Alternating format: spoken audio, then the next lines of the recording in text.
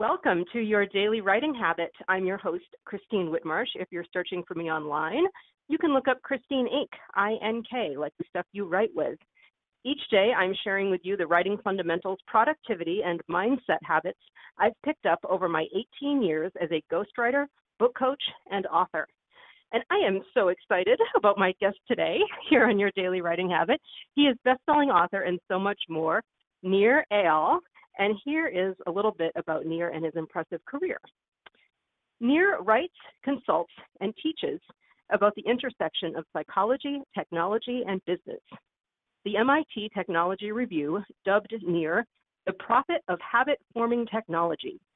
He is the author of the best selling book, Hooked How to Build Habit Forming Products, and Indistractable How to Control Your Attention and Choose Your Life. In addition to blogging at nirandfar.com, that's N I R and F A R.com, Nir's writing has been featured in the Harvard Business Review, TechCrunch, and Psychology Today. Nir attended the Stanford Graduate School of Business and Emory University. And thank you so much for being here today, Nir. Well, my pleasure, Christine. Thanks so much for having me. Great. Especially, yeah, I know you have your upcoming launch on September 10th. That's easy to remember. It's my sister's birthday of your new book. Oh, there you go. yeah. That's right. Yes, I've been I've been busy, but of course, had to make time. It's so great. Thank you for having me on the show. Really appreciate it. Good. So let's start with the aforementioned new book, Indistractable How to Control Your Attention and Choose Your Life, a book that promises to, and this is from your website, reveal the hidden psychology driving us to distraction. And I love both of those topics, psychology and distraction and slash attention. So I would love to hear from you the story of how this book came about, why you knew you had to write it, and what you hope people will gain by reading it. Yeah, yeah. So the the the seminal moment when I realized I had to write this book uh, was when I was sitting with my daughter, and we had this afternoon together where we could just you know play, and we had this book of activities that daddies and daughters could do together. And the the the the, the page I remember uh, this particular incident occurring was a question. It was a prompt uh, that I remember verbatim. The the prompt was if you could have any superpower, what superpower would you want?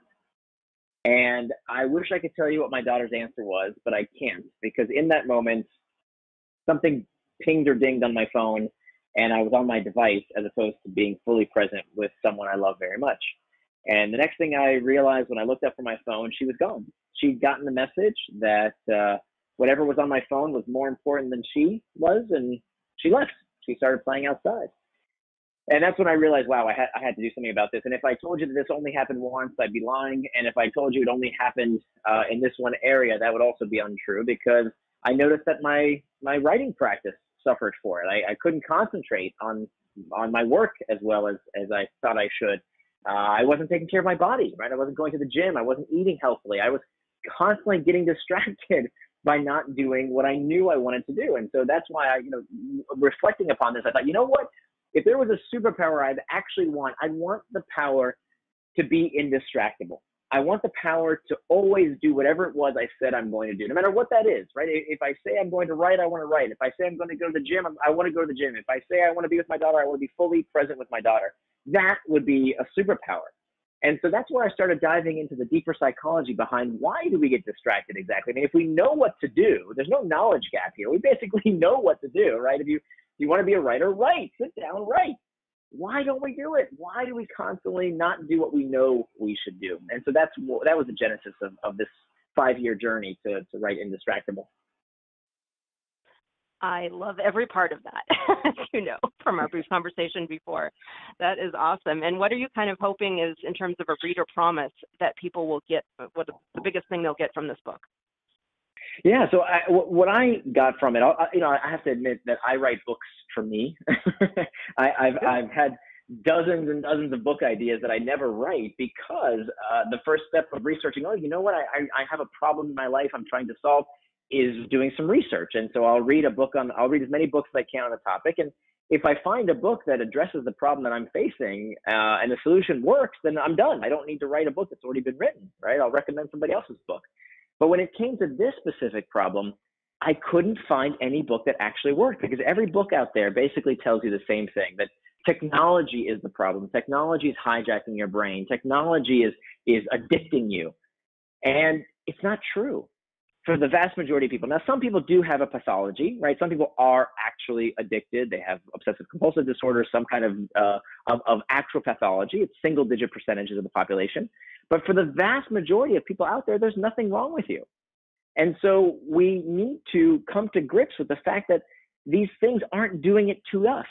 It's that we just don't have the tools, the understanding for how to get the best of these technologies without letting them get the best of us. So Indistractable is a pro-human, pro-tech approach to using these technologies because, you know, a lot of academics can can sit in their ivory towers and say, "Don't use social media. Uh, that's the problem." And they, you know, they don't have social media accounts, but I need social media. Like I, I, my livelihood depends on it. That's where my readers are. I need to connect with them. I can't just stop using email, stop using social media. This is this is what my my livelihood depends on. So I don't want to tell people to stop using these tools because they, one, it's we, we need them for our livelihoods, many of us as authors, but two, you know, doing so, going on some 30 day detox or some digital diet, diet plan, it doesn't work for the same reasons that fad diets don't work. So I, I, used to be clinically obese at one point in my life, and I would do these fad diets, you know, no fast food for 30 days. And you know what happened on day 31, right? I, I would eat everything I could possibly get my hands on because the diet was over. And so, of course, we do the same thing. And I tried these these programs in these books. I did the digital detox as a 30 day plan. They don't work because they don't teach us how to deal with the underlying psychology of why we get distracted in the first place. Totally agree. I actually wrote about that recently, or I did some. It sounds familiar. I talked about that, about the, you know, kind of went off against the social media detoxes. So same page, mm. once again, with you Nir. Thank you for the validation. so, what do you think are the greatest misconceptions people have about distraction and how it affects productivity? So, I think the biggest myth is that distraction comes from things outside of us. That I think it's important. First and foremost, we need to understand what distraction is. How do we define distraction? So, to define distraction, it's, it's, it's helpful to understand what distraction is not. What is the opposite of distraction? The opposite of distraction is not focus. The opposite of distraction is traction. They both come, both words come from the same Latin root, trahere, which means to pull, and both words end in the same five letter word, action, A C T I O N.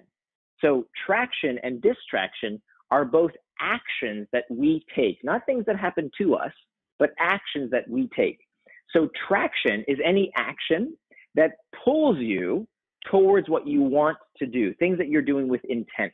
The opposite of traction is distraction, any action that you take that pulls you away from what you wanted to do. So this is important in a few ways. One, it frees us from this from this moral hierarchy that what some people want to do with their time is somehow okay, but what other people do with their time is not okay. Uh, you playing Candy Crush, that's bad. Me watching football, that's okay. No, it's ridiculous. Whatever it is you want to do with your time is fine as long as you do it with intent. Second, it also dismisses this this myth that some things are somehow you know beneficial to us because they feel productive even when they're not. So, for example, my my confession here is that I would sit down at my desk. You know, when I fir- when I first started writing professionally, it was very easy for me because uh, nobody was emailing me, right? Nobody needed me throughout the day, so I could just sit and write, and there were no, uh, nothing take, took me off track. But then as I got you know some some bit of success, I started getting some more emails and inquiries, and so I would sit down at my desk to write, and I would think to myself, oh, you know what? I, I should probably just check email for a quick sec. Or let me just Google that, that, that thing I've been thinking about. Just do a bit of research, right? I would convince myself that that was necessary. And you see, distraction tricks us. It makes us think that we need to do something right now that's kind of productive, right? But it's not. It's pseudo work. And it's just as much of a pernicious distraction. You know, email or Googling something or research is just as much of a distraction as playing a video game if it's not what you planned to do. If, if I plan to write, that's traction. Anything else is distraction. So we have traction and distraction on, on either side. Now, what moves us towards traction or distraction is only two things external triggers or internal triggers. External triggers are all the pings, dings, rings in our environment that prompt us to either traction or distraction. They're not inherently good or bad. It depends on what we do in response to those external triggers. So if you have an alarm on your phone that says, hey, it's time to write, well, now that's great. It moves you towards traction. But if you're writing and you get a notification on your phone from Facebook or Instagram, whatever, now it's moving you towards distraction. But external triggers are where most people think distraction starts, but it actually turns out to be much less of a problem than the number one source of distraction, which are these internal triggers. Internal triggers are uncomfortable psychological states that we seek to escape from. It's boredom, anxiety, uncertainty, fatigue. This is what prompts us to traction or distraction much more often than anything in our outside environment. So the biggest myth, I think what people don't realize when it comes to distraction is that most distraction starts from within. Love that. Totally agree. And I, I love the breakdown of the word. Totally word geeking out on that as a writer now. I'm I'm glad you appreciate it, right? I knew that you, you and your audience would love it. I, I love that kind of stuff as well. all my all my ink authors right now, we're all geeking out. great. So now uh, I want to. This is my way of transitioning to your other awesome best-selling book, and it's kind of a moment of cosmic coincidence because a few nights ago I've been reading uh, Tools of Titans by Tim Ferriss, and mm. I came across a familiar name that one of the Titans was recommending his book, and I said, why does that name sound familiar? Oh, I'm interviewing him this week. so yeah. it was uh, FBI futurist Marc Goodman. He singled out your book, Hooked How to Build Habit Forming Products for Having a Significant Impact on His Life. So, first of all, you know, tell me about the book, of course, but how does it feel to be singled out as a, as a tool of Titans? Well, uh, thank you. I, you know, I, I didn't I didn't hear about that until like a year after the book was published. Nobody told me that I was mentioned in the book, and I didn't happen to read it. But it was it's, uh, obviously you know very flattered by it. Um, but it's it's great. So the the first book uh, was really about how to use technology to build healthy habits in users' life, uh, and the book is now five year. We're just approaching our the five year anniversary of the book. It's it's you know I self published it at first, and I had very low expectations, and then it got picked up by Portfolio and uh, we passed a few months ago 250,000 copies, so I'm I'm just as thrilled and, and and surprised as anyone about the about the success of the book. And I think the reason it's resonated is that it it kind of you know reveals uh, two things. One, how products can be used for good, how we can use technology to help people build healthy habits, to save money, to exercise more, to create habits around you know, enjoying and engaging in education. So thousands of companies have reached out to me since the book was published to tell me how they're using these pro- these techniques for good. It's not just about Facebook and Twitter and Instagram using these techniques. I, I wanted to democratize these techniques so that anyone can use them to build products to help people live healthier, happier, more productive lives. The second reason I wrote Hooked is that you know I wanted people to see the insides of the psychology of how these products change our behaviors not that we become addicted and we're somehow mind controlled by these products, but that rather, if we understand how the psychology works, we can do something about it. We can put it in its place. And so, Indistractable kind of felt like this natural extension of really breaking down. You know, in Hook, it was really for makers, it was for people who are building products. But Indistractable is specifically written for a wider audience of people, uh, anyone who struggles with distraction. Great. And that was what I was going to ask you next is the connection between the two, especially in light of that LinkedIn post that I commented on yesterday where someone tweeted about you, guy who literally wrote the book on using behavioral psychology and tech to manipulate people, now selling how not to be manipulated, which to yeah, me made perfect yeah. sense. well, it's it's interesting. Talk about like a case study in judging a book by the cover. The book isn't even out yet. Yeah. there's no there's no way you read it. but but you know, and of course I thought of this, right? Like I wasn't, you know, this isn't a surprise, right? right. But I, I think it was important to um uh to, to to give an insider's perspective. Uh there's so much misinformation and frankly, uh we are teaching people to give up control by calling technology addictive. And again, you know, little asterisk here, it does addict some people. Clearly, you know, alcohol. Uh, lots of us enjoy a glass of wine. We're not all alcoholics. Lots of us, uh, you, you know, we enjoy a good meal. We're not all food addicts. People who have sex are not all sex addicts. We gamble, but you know, we play poker. It doesn't make us problem gamblers. Some people do get addicted to these tools. But I think what's happened lately in the media, because it makes for such a good story, ironically, that cranks up even more clicks and makes you know the, the news media even more money. They operate in the same exact business model uh, of selling your attention as as Facebook does. But I think the narrative has been that this is addicting everyone, and and that's not helpful and it's not true. And so that was a, a, a big reason that I, I thought it was important to publish this because you know I started from struggling with this stuff, originally blamed the technology just like everyone else, and then realized that actually the, the story is much more nuanced uh, than than I think people uh, perpetuate. Excellent, and I'm very excited to read this book. I definitely want to dig into the nuances, being such a, a student of this subject matter. I love it. Mm. Thank you. So, what is the yeah? If people are looking to connect with you and to get more information about your books, what would be the best way for them to do that? Yeah, so my blog is nirandfar.com, spelled like my first name, N-I-R, so nirandfar.com. And the book is called Indistractable, How to Control Your Attention and Choose Your Life. And if you go to indistractable.com, there are all kinds of resources and tools there that you can get for free. There's an 80 page workbook that I couldn't include in the book. I didn't have enough room for it, but you can download it for free there, all at indistractable.com. It's I N, the word distract, A B L E, indistractable.com.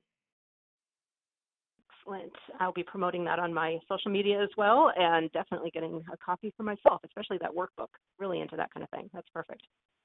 Thank you so much. Yeah, I, I can't wait to hear what you think of it. Yeah. And thank you again so much for taking the time to be with us today on your daily writing habit on behalf of my listeners and myself. And thank you all for joining me here on your daily writing habit, where I am helping you write and finish writing an awesome book. Until tomorrow, happy writing.